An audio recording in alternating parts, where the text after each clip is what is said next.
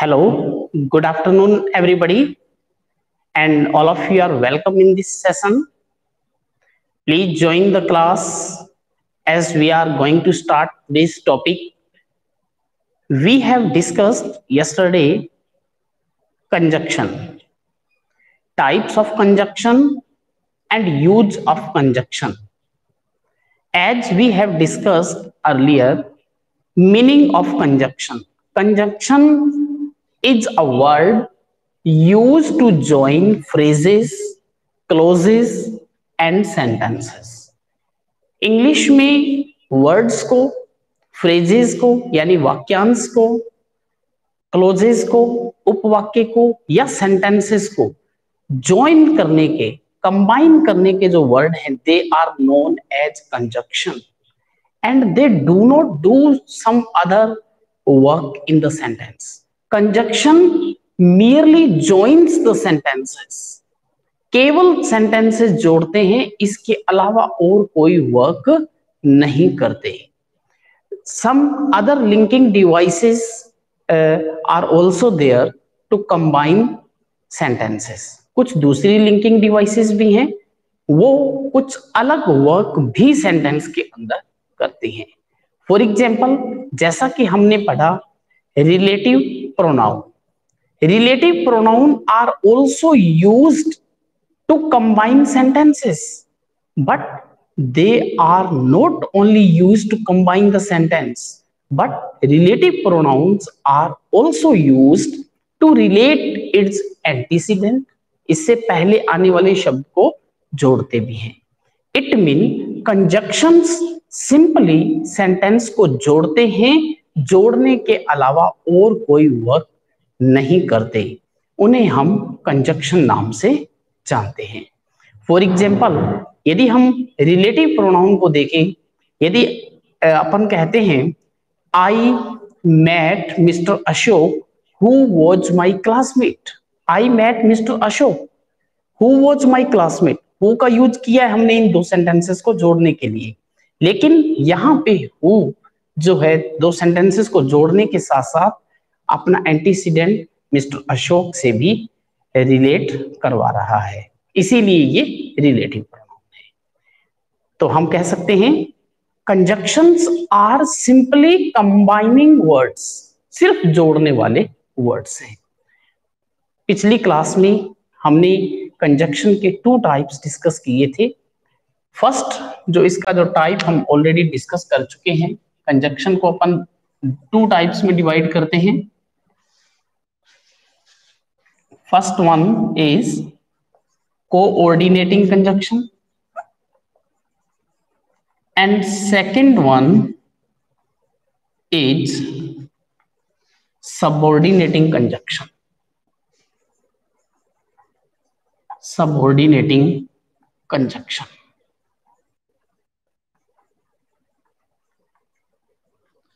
coordinating conjunction हमेशा equal status की phrase clause या इक्वल स्टेटस के सेंटेंस को जोड़ता है they are coordinating conjunction coordination होता है, दोनों सेंटेंस एक दूसरे के ऊपर डिपेंड नहीं करते, दोनों फ्री होते हैं।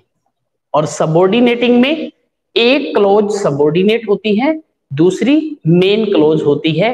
इट मीन सबोर्डिनेट क्लोज अपने मीनिंग के लिए मेन क्लोज के ऊपर डिपेंड करती है। कोऑर्डिनेटिंग में we have discussed four further types of the coordinating conjunction इसमें हमने डिस्कस किए थे कल। इसमें कम्युलेटिव जो सिंपली दो सेंटेंसेस को जोड़ते हैं without adding any special sense second one adversative adversatives are used to join two sentences of the opposite senses, जिसमें दो sentences ऐसे होते हैं जिनमें विरोधी भाव होता है। They are adversative third one alternative alternative में हमने पढ़ा ऑल्सो नोन एज डिसजंक्टिव ने डिसजंक्टिव कंजक्शन भी बोलते हैं। अल्टरनेट होता है टू में से एक को सिलेक्ट करने का। जो अल्टरनेटिव सिलेक्ट सेंस होती है they are alternative conjunction and last one illative conjunction illative के अंदर हमें एक रीजन दिया होता है, उसके बाद हमें रिज़ल्ट दिया होता है। They are elective for example so there ये इलेटिव कंजक्शन है। Alternative either or, neither nor और ये सब अल्टरनेटिव टाइप के हैं। एडवर्सेटिव में हम दो विरोधी सेंटेंसेस को जोड़ते हैं फॉर एग्ज़ाम्पल बट स्टिल इस टाइप के जो कंजक्शन है they are use as adversative विरोधी भाव जोड़ते हैं। सिंपल जो है they are known as cumulative cumulate करते हैं, इकट्ठा करते हैं, इसके अलावा और कोई सेंस इसमें नहीं होती। ऑल्सो नोन एज कॉप्युलेटिव इन्हें हम कॉप्युलेटिव के नेम से भी जानते हैं। Today we shall discuss subordinate conjunction तो सबोर्डिनेट कंजक्शन को आज अपन डिस्कस करते हैं कि सबोर्डिनेट कंजक्शन के कितने टाइप हैं और सबोर्डिनेट कंजक्शन को किस तरह से हमने यूज़ करना है। तो first of all subordinate conjunction of time पहला जो इसका टाइप है, वो है subordinate conjunction of time subordinate conjunction of time it mean जब टाइम शोइंग वर्ड जो है, वो दो सेंटेंसेस को जोड़ते हैं। वहाँ पे सेकंड सेंटेंस के एक सेंटेंस में एक्शन के हैपन होने का जो टाइम है वो इन वर्ड्स के द्वारा बताया जाता है। तो उन्हें ही हम सबोर्डिनेट कंजक्शन ऑफ़ टाइम के नाम से जानते हैं। आप इस क्लास के बाद असाइनमेंट टैब से स्टडी मटेरियल टैब से नोट्स ज़रूर डाउनलोड कर लें। मैंने कल ही अपलोड कर दिए थे, जिसके अंदर आपको प्रत्येक कंजक्शन के जितने भी टाइप हैं, उनमें कंजक्शंस और उनके यूज़ से रिलेटेड सेंटेंस मिल जाएगा। ताकि अपनी क्लास बहुत ज़्यादा बड़ी न रहे ऑनलाइन में। सिर्फ़ हम जो प्रॉब्लम्स हैं, उन्हीं को डिस्कस कर सकें। नेक्स्ट वन इसमें टाइम शोइंग वर्ड कौन कौन से आते हैं? For example before after when ये जो कंजक्शन हैं, ये यूज़ होते हैं as a time showing word तो इसमें हम यूज़ करते हैं before after as soon as इसके बाद में while so long as when. As, ये जो कंजक्शन है, वो यूज़ होते हैं as a subordinate conjunction of time. For example if I say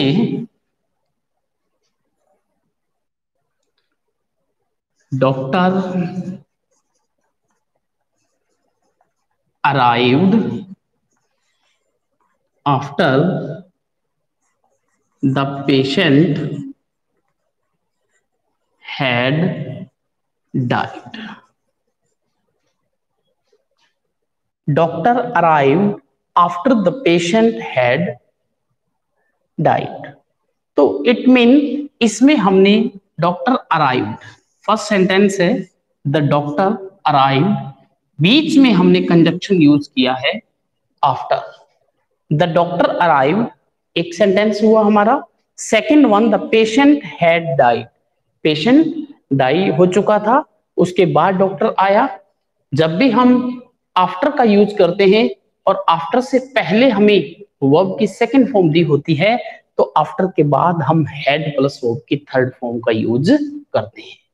यदि यहाँ पे कंजक्शन हमें बिफोर दिया होता है तो बिफोर से पहले हम हेड प्लस वर्ब की थर्ड फॉर्म का यूज़ करते हैं और बिफोर के बाद हम वर्ब की सेकेंड फॉर्म लिखते हैं। तो इनमें से इस वर्ब फॉर्म का भी आप ध्यान रख सकते हैं। द डॉक्टर अराइव डॉक्टर पहुँचा। तो इस डॉक्टर पहुँचने का जो टाइम है after the patient had died patient के डाई होने के बाद डॉक्टर पहुँचा। तो इट मीन यहाँ पे जो सेंटेंस है वो अपने मीनिंग के लिए टाइम के लिए दूसरे पार्ट के ऊपर डिपेंड करता है। तो इसीलिए इसमें एक मेन क्लोज हुई।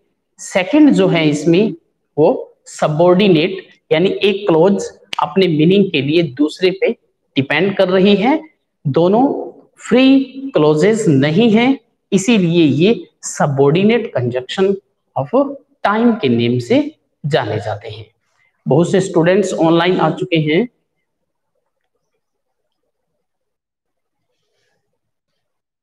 तो नेक्स्ट वन इसमें अपन देखते हैं कि सेकंड जो टाइप है टाइम से रिलेटेड जो भी वर्ड है, जो भी कंजक्शन है, वो आप नोट से भी डाउनलोड कर सकते हैं। मैंने एक बार स्पीक आउट भी कर दिए हैं। Before after when while since as ये जो मुख्य मुख्य कंजक्शन है एज सून एज ये हम यूज़ करते हैं as a subordinate conjunction of time second हम इसमें पढ़ते हैं सबोर्डिनेट कंजक्शन ऑफ़ रीजन और cause subordinate conjunction of reason और कोज तो इसमें हम रीजन शो करने वाले सेंटेंसेस को यूज़ करते हैं और उनको जोड़ने के लिए रीजन शो करने वाले ही कंजक्शन हम यूज़ करते हैं। बहुत ही कॉमन यूज़ किया जाने वाला वर्ड है हमारे पास में बिकॉज़ बिकॉज़ से हम कारण बताते हैं। और बिकॉज़ जिस सेंटेंस के साथ जुड़ा रहता है, वो उसका रीजन शो करता है और बिकॉज़ से पहले वाला उसका रिज़ल्ट शो करता है। तो इसमें हम कोज में बिकॉज़ सिंस या एज इन तीन वर्ड्स का ज़्यादा यूज़ करते हैं बिकॉज़ सिंस और एज इट मीन जैसे अपन इसको एग्ज़ाम्पल से देखते हैं my brother is absent because he is not fit. My brother is absent because he is not fit. तो यहाँ पे दो सेंटेंस हमने लिए हैं। माई ब्रदर इज़ एबसेंट इसका जो रीजन है, इस एक्शन के होने का जो रीजन है, ये अपने रीजन के लिए सेकंड पे डिपेंड करता है because he is not fit क्योंकि वो फिट नहीं है। तो ये सेंटेंस कंप्लीट नहीं है इसके बिना। माई ब्रदर इज़ एबसेंट तो इसमें एक सेंटेंस अपने मीनिंग के लिए सेकंड पार्ट पे डिपेंड करता है। इसीलिए ऐसे जो सेंटेंसेस हैं, वो सभी सबोर्डिनेट कंजक्शन से जुड़े होते हैं। तो सबोर्डिनेट कंजक्शन के लिए हम बिकॉज़ वर्ड का यूज़ करते हैं सिंस वर्ड का यूज़ करते हैं और एज वर्ड का यूज़ करते हैं। तो इसमें एक हल्का सा डिफरेंस रहता है। बिकॉज़ से भी हम रीजन देते हैं एज से भी हम रीजन देते हैं। जो रीजन हमें सामने परसेप्टिबल हो रहा है, दिखाई दे रहा है तो उसके लिए हम एज वर्ड का यूज़ करेंगे। He can not run as he is weak he can not run वह नहीं दौड़ सकता। एज क्योंकि जैसा कि ही इज़ वीक वह कमज़ोर है। तो जो कमज़ोर है हिज वीकनेस वो हमें सामने दिखाई दे रही है। तो ऐसे सभी रीजन जो हैं, वो हम एज से दे सकते हैं। बिकॉज़ बहुत ही फॉर्मल वर्ड है किसी रीजन को देने के लिए तो हम सिंपली बिकॉज़ का यूज़ करते हैं। थर्ड टाइप के जो सबोर्डिनेट कंजक्शन हैं, उसमें हम देखते हैं subordinate conjunction purpose subordinate conjunction of purpose हमारे पापज को शो करने के लिए, हमारे उद्देश्य को शो करने के लिए जो कंजक्शन यूज़ किए जाते हैं they are known as subordinate conjunction of purpose purpose वाले सबोर्डिनेट कंजक्शन तो इसमें हम यूज़ करते हैं ज़्यादातर that so that in order that that so that in order that तो इस टाइप के वर्ड हम पर्पज किसी एक्टिविटी किसी काम के होने का पर्पज क्या है? उसका मकसद क्या है? उसको शो करने के लिए हम सबोर्डिनेट कंजक्शन ऑफ़ पर्पज का यूज़ करते हैं। For example if I say he worked hard so that he might pass. He worked hard so that he might pass. तो यहाँ पे इस एक्शन को करने का पर्पज क्या है? He worked hard he worked hard क्योंकि वो क्या करना चाहता है? उसका उद्देश्य क्या है? सो दैट ही माइट पास कि वो पास हो सके, इसलिए उसने कठिन परिश्रम किया। तो ये इस एक्टिविटी के करने का पर्पज शो कर रहा है। तो इट मीन एक सेंटेंस एक पार्ट अपने मीनिंग के लिए सेकंड पार्ट के ऊपर डिपेंड है। तो इसके लिए हम सबोर्डिनेट कंजक्शन का ही यूज़ करते हैं।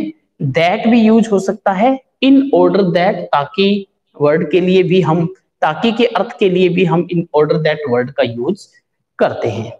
नेक्स्ट वन जो सबोर्डिनेट कंजक्शन का टाइप है फोर्थ जो इसका टाइप है, वो है हमारा सबोर्डिनेट कंजक्शन ऑफ़ कंडीशन अब हम कंडीशन को शो करने के लिए, इसमें हम यूज़ करते हैं if as if provided that if as if provided that in words का हम यूज़ करते हैं और इसमें हम एक और महत्वपूर्ण वर्ड कंजक्शन अनलेस का भी यूज़ करते हैं तो unless if as if provided that These conjunctions are used to show the condition.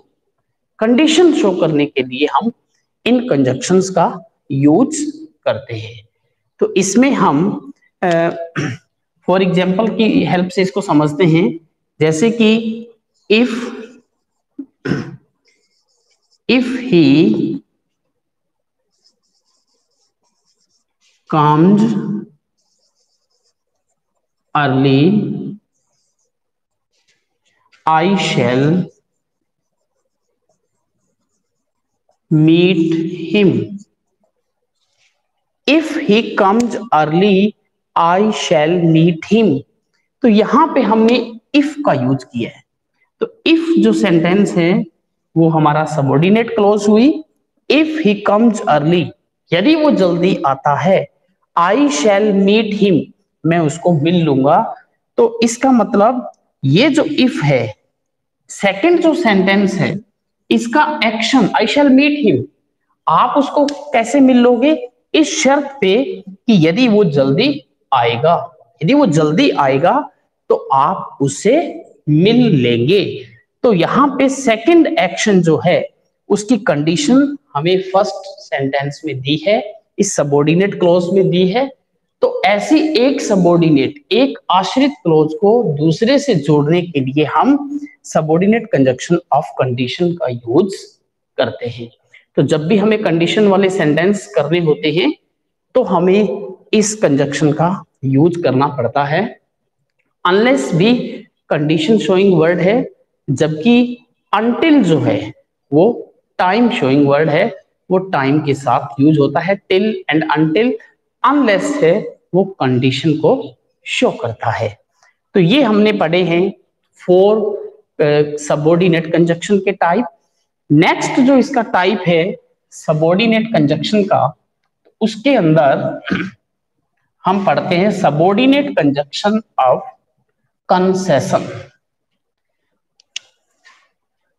subordinate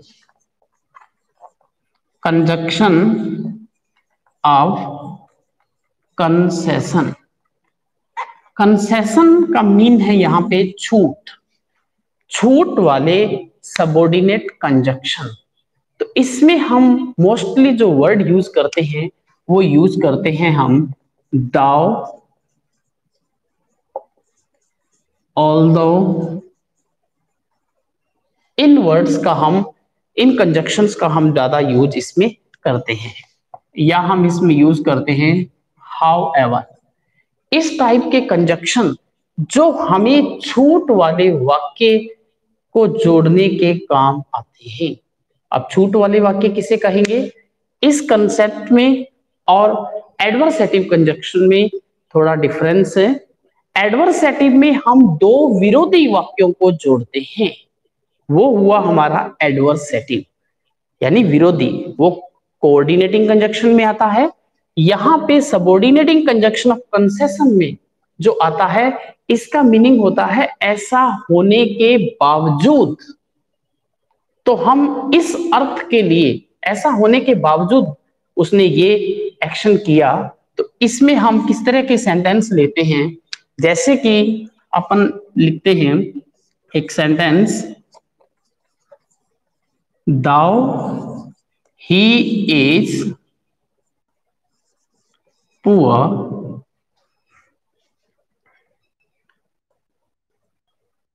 he is honest. Though he is poor हालाँकि वह गरीब है ही इज़ ऑनेस्ट बट उसकी जो पावर्टी है, उसकी जो गरीबी है, उसकी ऑनेस्टी को प्रभावित नहीं करती। यानी कि वो गरीब होने के बावजूद क्या है? ऑनेस्ट है। तो ऐसा होने के बावजूद, ये दोनों विरोधी कंसेप्ट नहीं है। इसमें विरोधी होने का वो मतलब है कि जहाँ पे दोनों एक साथ नहीं हो सकते।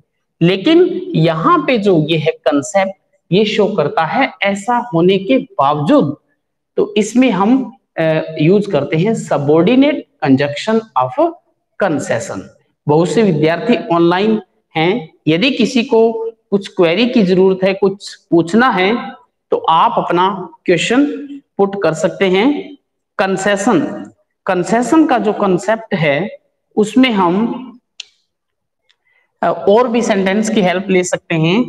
For example he is not contented though he is poor or weak he is not contented वह कंटेंटेड नहीं है, संतुष्ट नहीं है दाउ हालाँकि ही इज़ पुअर वह गरीब है। इट मीन वह गरीब होने के बावजूद भी संतुष्ट नहीं है। तो ये विरोधी कंसेप्ट नहीं है, जिसे हम कहते हैं कि वो एक्स्ट्रा ऑर्डिनरी है, कुछ ना कुछ कि ऐसा होने के बावजूद वो सेकंड एक्शन करने के लिए रेडी है।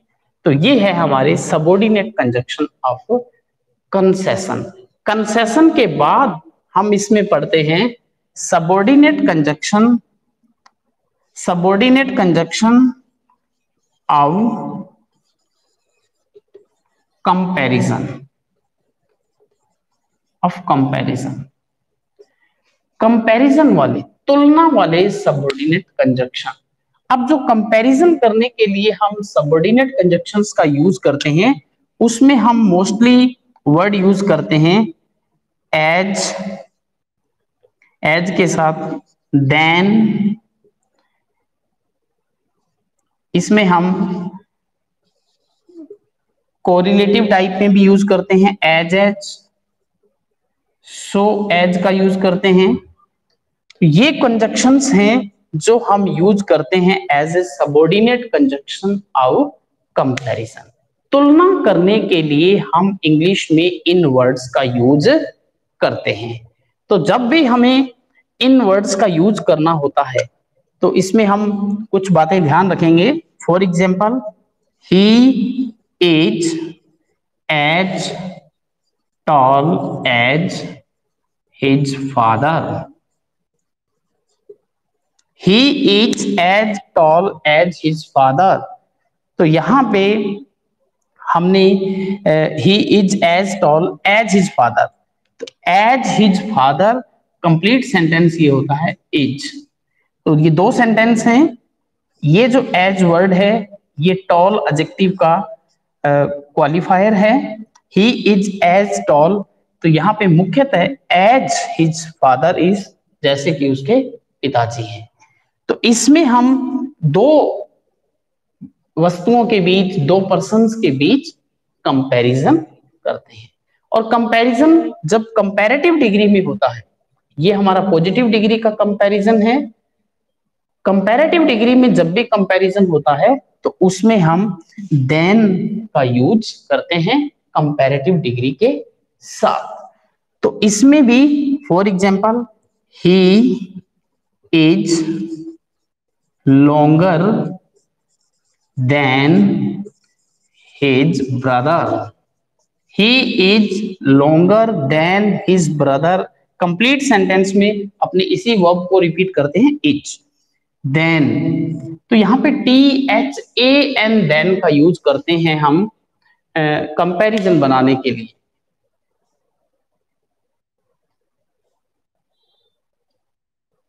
विकास पारिक ने क्वेश्चन पूछा है कि कंसेशन में छूट का मीनिंग क्या होता है? तो छूट का जो मीनिंग है, ये कंसेप्ट है इंग्लिश में कंसेशन का। कंसेशन का मतलब छूट। छूट का मीन हुआ ऐसा होने के बावजूद। तो यानी ऐसा यदि है तो ऐसा नहीं होना चाहिए। अक्सर ऐसा नहीं होता। जैसे कि यदि अपने पुअर व्यक्ति से, वैसे नहीं कहना चाहिए कि पुअर व्यक्ति से हम ऑनेस्ट होने की अपेक्षा कम करते हैं। लेकिन इसको, ये एक तरह से कंसेशन का कंसेप्ट है कि यदि इसको पुअर है, वो गरीब है तो उससे हम ऑनेस्ट होने की अपेक्षा कम की जाती है। तो यहाँ पे ऐसा होने के बावजूद वो है तो इट मीन वो कुछ ना कुछ एक्स्ट्रा ऑर्डिनरी है, वही कंसेशन का कंसेप्ट है। यहाँ पे हम कंसेशन का बिल्कुल लिटरल मीनिंग जो छूट है, वो यहाँ अप्लाई नहीं कर सकते। तो इस चीज़ का आप थोड़ा ध्यान रखें। तो सबॉर्डिनेट कंजक्शन ऑफ़ कंपैरिजन इसमें हम यूज़ करते हैं T H A N than word का एज का, और यदि हमें नेगेटिव सेंटेंस दिया होता है पॉजिटिव डिग्री के साथ तो हम यूज़ करते हैं so H word T H A N than इसका यूज़ हमने हमेशा कंपैरेटिव डिग्री के लिए करना है। एक इंग्लिश में हम वर्ड यूज़ करते हैं T H E N then तब वो हम एडवर्ब की तरह यूज़ करते हैं मोस्टली तो इसलिए T H A N than का हमें इंग्लिश में यहाँ पे यूज़ करना है सबोर्डिनेट कंजक्शन ऑफ़ कंपैरिजन के लिए। तो इसके बाद हम नेक्स्ट पढ़ते हैं कंपैरिजन के बाद कि subordinate conjunction of extent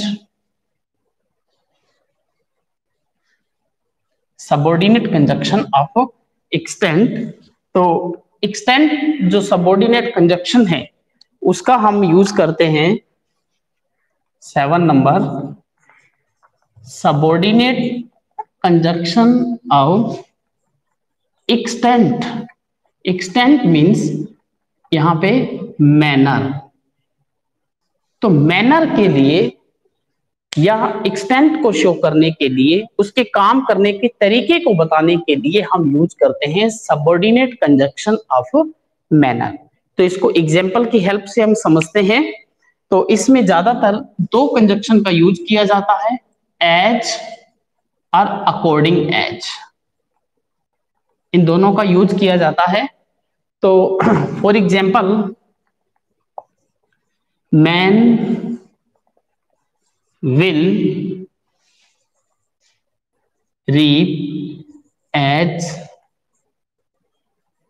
they sow the man will reap as they sow तो यहाँ पे हमने एज मैन विल रीप आदमी वैसा ही काटेगा, कैसा काटेगा? जैसा वो बोएगा। तो उसने उसके काम करने का तरीका बताया है। यहाँ पे मैनर को शो कर रहा है कि वो किस मैनर से रीप करेगा एज दे सो जिस मैनर से उसने बोया है। S O W sow means बोने के लिए हम यूज़ करते हैं। तो किसी एक्शन के होने का मैनर किस तरह से होगा ये? तो उसके लिए हम सेकंड सेंटेंस में एक सेंटेंस का यूज़ किया है और इन दोनों को हमने किस कंजक्शन की हेल्प से जोड़ा है? एज अब आप कई बार कंफ्यूज होते हैं कि एज का यूज़ हम रीजन शो करने के लिए भी करते हैं। कारण, यदि एज के बाद रीजन आए, जैसे कि अपने सेंटेंस देखा था कि he can not run he can not run he can not he can not run as he is weak he can not run as he is weak तो वह नहीं दौड़ सकता, जैसा कि वो कमज़ोर है। तो यहाँ पे ये क्या शो कर रहा है? रीजन कारण। तो जब ये रीजन शो करेगा तो वही same as conjunction subordinate conjunction of reason बन जाएगा। जब ये एज किसी मैनर हम्म, को शो करता है तो ये बन जाएगा मैनर शोइंग वर्ड यदि एज वर्ड का यूज़ हम टाइम के लिए भी कर सकते हैं तो तब हम एज को यूज़ करेंगे टाइम शो करने के लिए। तो इस तरह से हमें ये ध्यान रखना है कि जब भी हम कंजक्शन का यूज़ कर रहे हैं या उस सेंटेंस को पढ़ रहे हैं तो उसी रेफरेंस में ये फिक्स नहीं करना कि एज का यूज़ यदि मैंने मैनर के लिए बताया है तो वो मैनर के लिए आएगा। तो अलग अलग कंडीशंस में, जैसे कि यहाँ पे हमने एज का यूज़ कंपैरिजन के लिए भी किया है तो कंपैरिजन के लिए भी हम एज का यूज़ कर सकते हैं। कंपैरिजन के बाद हम यदि टाइम के लिए भी एज का यूज़ कर सकते हैं तो इसके बाद मैनर के लिए भी एज का यूज़ किया जा सकता है। तो इस टाइप से आपको एक से ज़्यादा कंजक्शन का यूज़ एक से ज़्यादा में मिलेगा कि एक से ज़्यादा वर्ड्स के लिए हम, एक से ज़्यादा सेंसेस के लिए हम एक ही कंजक्शन का यूज़ कर सकते हैं। तो ये हुआ हमारा मैनर इसके बाद हम लास्ट में इसमें पढ़ते हैं सबॉर्डिनेट कंजक्शन ऑफ़ रिज़ल्ट और consequence subordinate conjunction of result और कंसेक्वेंस परिणाम वाले सबॉर्डिनेट कंजक्शन या जो हमें रिज़ल्ट शो कर रहे हैं।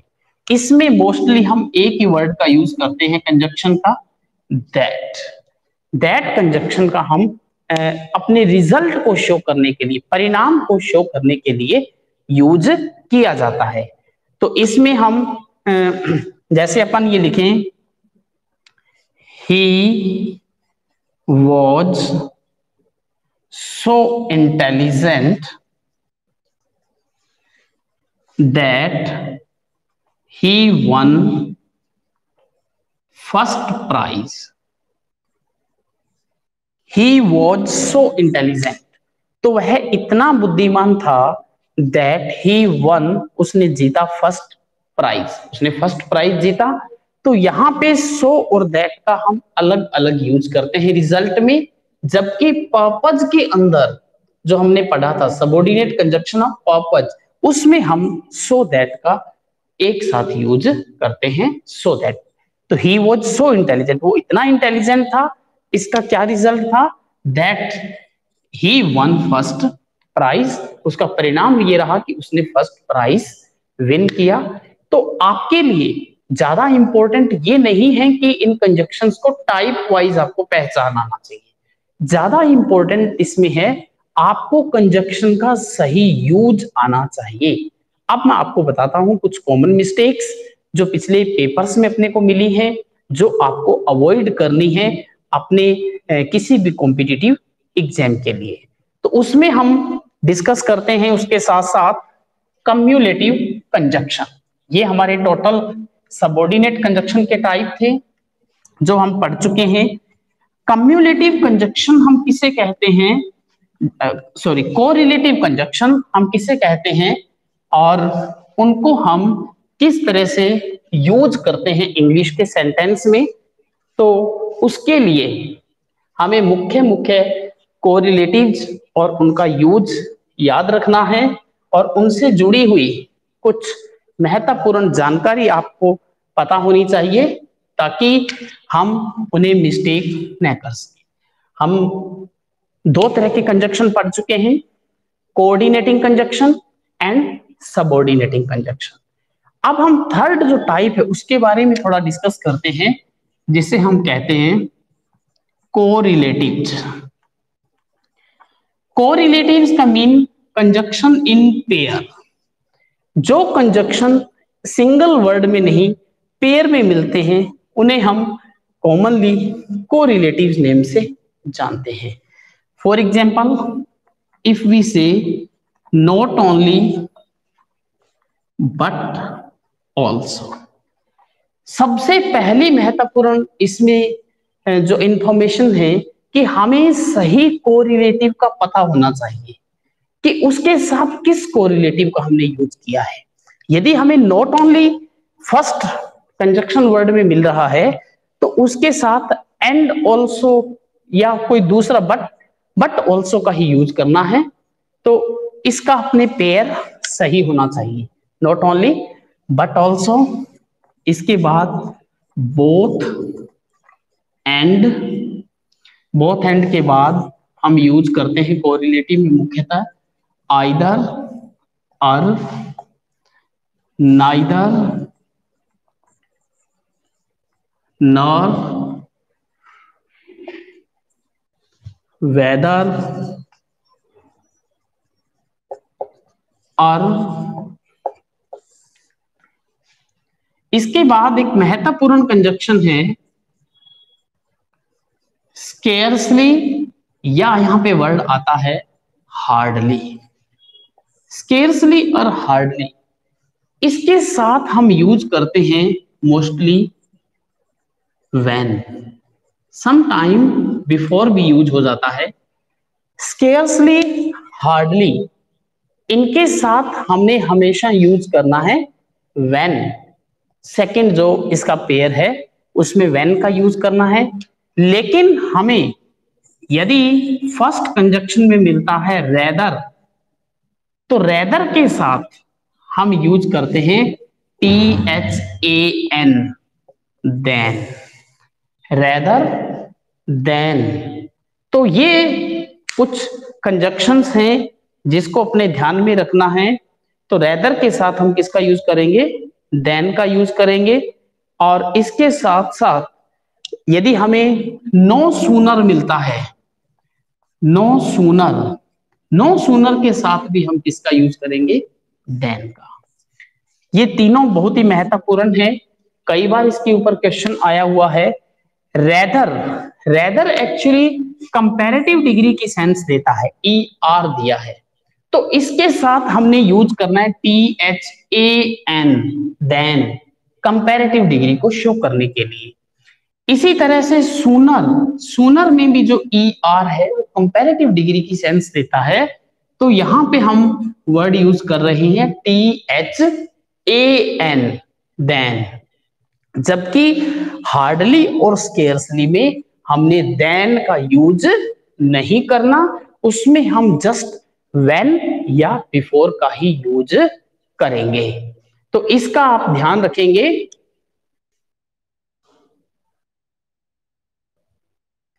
कुछ विद्यार्थियों की टेक्निकल प्रॉब्लम है स्क्रीन शो ना होने की। वेरी सॉरी कुछ लाइट प्रॉब्लम के कारण ऐसा हो रहा है। नेटवर्क इशू हो जाता है थोड़ा बहुत। तो ट्राई करते हैं अपने इसको आज के लेक्चर को कंक्लूड करने की। तो नॉट ओनली बट ऑल्सो ये बहुत सिंपल सा यूज़ आपको देखने में मिल जाएगा। He is not only intelligent but also hard working he is not only intelligent but also hard working तो दो क्वालिटी शो करने के लिए हम इस कंजक्शन का यूज़ करते हैं। Both and both Ramesh and Manish are sincere both Ramesh and Manish are sincere तो यहाँ पे दो के लिए यूज़ किया। एंड के बाद हम हमेशा प्लूरल वर्ब का ही यूज़ करते हैं, क्योंकि यहाँ पे टू सब्जेक्ट कम्युलेट हो जाते हैं, साथ मिल जाते हैं। Either or he is either a teacher or a doctor तो he is either a teacher or a doctor तो दोनों में से अल्टरनेटिव सेंस रहती है। He is neither sincere nor hard working तो वह दोनों का नेगेटिव सेंस है इसमें। He is neither sincere nor hard working इसी तरह से whether or I want to know whether you stay or go मैं जानना चाहता हूँ वेदर यू स्टे आप रुकेंगे और गो या जाएँगे। अब इसमें महत्वपूर्ण आता है स्केर्सली या हार्डली से जुड़ा हुआ सेंटेंस जस्ट इसको अपन देखते हैं एक एग्ज़ाम्पल की हेल्प से। जस्ट एक मिनट का समय लूँगा मैं आपसे। इसी क्लास में आप बने रहिए।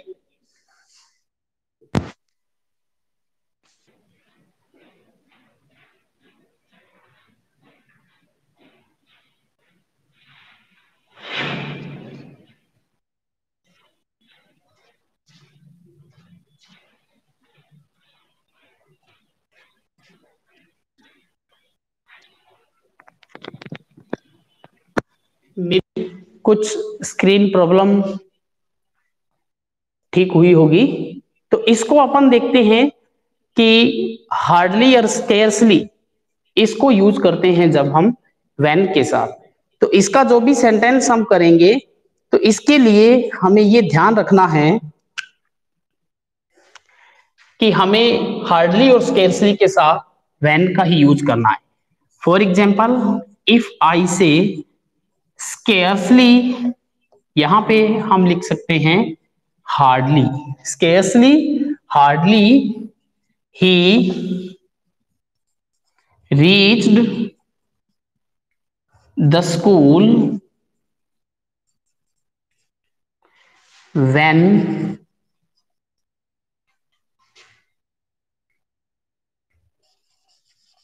rain began.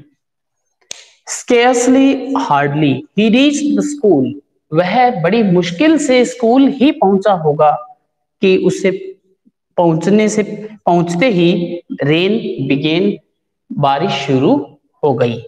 तो स्केर्सली हैडली के साथ हमने सेकंड जो सेंटेंस जोड़ने के लिए कंजक्शन का यूज़ करते हैं, इसके पेयर में वो होता है वैन तो इसलिए हम स्केर्सली और हार्डली के साथ किसका यूज़ करेंगे हमेशा? वैन का। इसके साथ हम कभी भी T H A N than का यूज़ नहीं करेंगे। और जो कंपैरेटिव को शो करता है, उसके साथ हम T H A N than का यूज़ करेंगे। For example if I say I would rather die than tell a lie I would rather die than tell a lie तो यहाँ पे वुड रेदर डाई इसके बाद हम किसका यूज़ कर रहे हैं सेकेंड पार्ट देन का। वुड रेदर वुड रेदर के साथ जब भी हम सेकेंड कंजक्शन पेयर का यूज़ करते हैं तो हम यूज़ करते हैं देन क्योंकि इसके अंदर जो है कंपैरेटिव डिग्री का सेंस होता है। I would rather die than tell a lie no sooner did he arrived home no sooner did he arrive home उसके बाद हम यूज़ करेंगे then then the rain began तो no sooner did he reached home then rain began तो वह घर पहुँचा ही नहीं था कि वर्षा शुरू हो गई। तो इस टाइप के no sooner did he arrived station the train left कि वो स्टेशन पहुँचा ही नहीं था कि ट्रेन चल पड़ी। यानी उसके स्टेशन पहुँचते ही ट्रेन चल पड़ी। तो इसमें भी कंपैरेटिव डिग्री का सेंस है। इसमें भी हमें ई e आर दिया है। तो इसके साथ भी हम टी एच ए एन का यूज़ करेंगे। ये कोरिलेटिव में से ही ज़्यादा क्वेश्चन आते हैं। तो इसको आप ध्यान रखें, जो भी ये महत्वपूर्ण कोरिलेटिव हैं, बाकी आप स्टडी मटेरियल टैब से टोटल जो कोरिलेटिव्स हैं, उनको एक बार पढ़ लें और उन्हें याद रखें ताकि उसका यूज़ आपकी मिस्टेक को अवॉइड कर सके।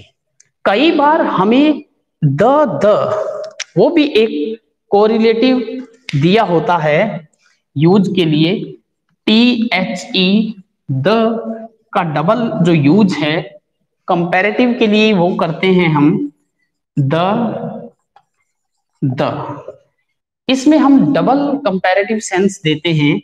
For example the more we get, the more we want. तो यहाँ पे हमने द द इनसे दो सेंटेंसेस को कंबाइन किया है। The more we get the more we want जितना हम प्राप्त करते हैं, उतना ही ज़्यादा हम चाहते हैं। The higher we go the cooler we feel हम जितना ऊँचा जाते हैं, उतना ही हम ठंडा महसूस करते हैं। तो ये थे हमारे कंजक्शन से रिलेटेड जो महत्वपूर्ण फैक्ट्स कंजक्शन के टाइप एंड उसके यूजेस से रिलेटेड जो महत्वपूर्ण जानकारी। कल के लेक्चर के अंदर we shall discuss preposition preposition का यूज़ डिस्कस करेंगे। उसके लिए आप लोग बने रहे इसी क्लास के अंदर। मिलते हैं नेक्स्ट क्लास के अंदर। और आप लोग अपने फीडबैक ज़रूर इस मैसेज में या अन्य मैसेज के द्वारा मुझे देते रहें ताकि मैं क्लास में कुछ इम्प्रूवमेंट या कुछ आपके सजेशंस इंप्लीमेंट कर पाऊँ। मे बी एक दो दिन बाद में क्लास का टाइम चेंज हो जाए, लेकिन आप अपडेटेड रहें इस ऐप के माध्यम से। मिलते हैं नेक्स्ट लेक्चर में एक नए टॉपिक के साथ। Good bye all of you